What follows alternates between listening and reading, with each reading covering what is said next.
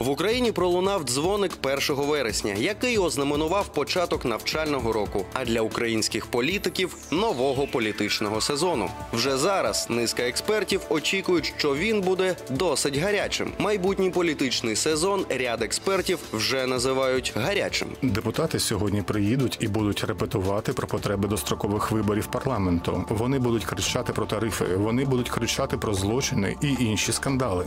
Прогнози щодо роботи уряду та парламенту надав і голова уряду Володимир Гройсман, який у звичній формі запевнив, що в країні політична ситуація залишиться стабільною, але припустив, що окремі політичні сили після тривалої відпустки захочуть дестабілізувати ситуацію.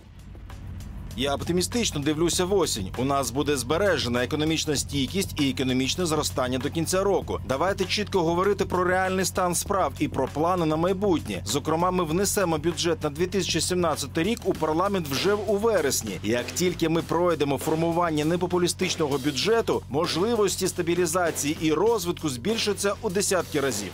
Головними темами політологи та економісти називають питання тарифів, формування бюджету на наступний рік, можливі дострокові вибори, а також проблеми Донбасу. У середу уряд оприлюднив перші цифри майбутнього бюджету і назвав пріоритетні сектори економіки. По-перше, фінансування сфери оборони у розмірі 5% від ВВП. По-друге, у пріоритеті українські дороги. За короткий період ми не можемо побудувати усі дороги, але вже зараз ремонтується і будується багато доріг, і українці це відчувають. І це тільки початок. По-третє, ми продовжуємо децентралізацію у 2016-17 роках. Підвищаться як можливості, так і відповідальність місцевої влади. Програма з енергоефективності буде діяти далі. І ще одне важливе питання: освіта. Ми закладемо у бюджет 2017 року підвищення зарплат вчителів.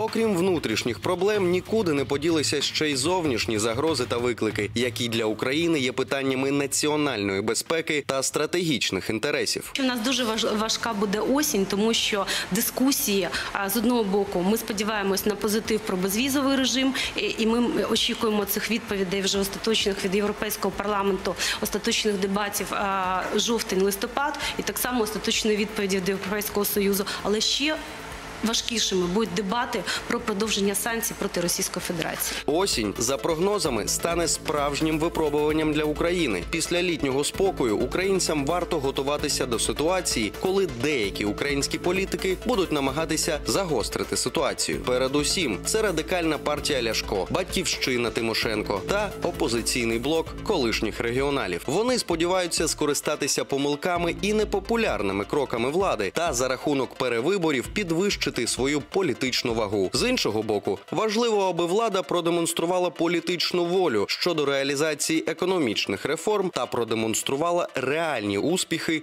у боротьбі з корупцією.